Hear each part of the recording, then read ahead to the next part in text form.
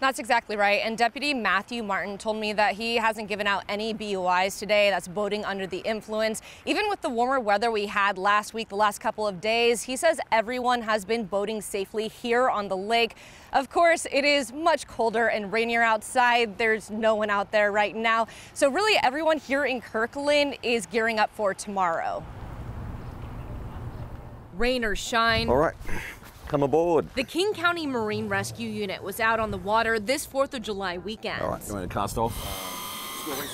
They were one of the only vessels out on the water on this drizzly day. A lot of boat owners have got their boats ready for the season. They just haven't been able to take them out. 2 have the details. Uh, RP is waiting. They're taking part in the national Operation Dry Water campaign, but so far this weekend, no BUIs have been handed out. The boaters in Washington are quite educated when it comes to BUI. Like we just don't see it a lot. Coming up. This year, the summer sort of hasn't arrived, so our boaters haven't shown up in big numbers yet. Passengers can drink alcohol on a boat. It's the operator that can't be under the influence. If they're responsibly boating, we're not likely to have a BUI contact with them. BUI isn't their only focus this weekend. How you doing?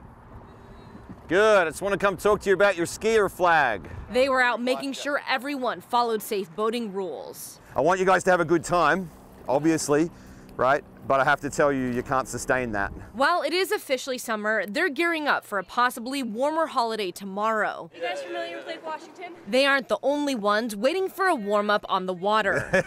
That's right. We got our lucky days and we got our bad days, so we go with the punches. when the sun is out, Woodmark Waterfront Adventures has all of their vessels out. We're hoping for it to turn back to, to sun here pretty soon.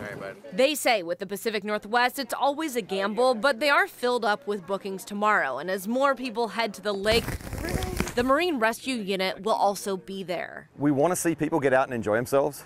Uh, that's why our unit exists, so people can safely enjoy the water. Deputy Martin tells me that the most dangerous vessel on the water last season was actually paddle boards. He says that each person is required to have a life vest while on the paddleboard, but many times they don't wear one. If someone were to fall off, that's when they get into trouble. In Kirkland, I'm Kristen Goodwillie, King 5 News.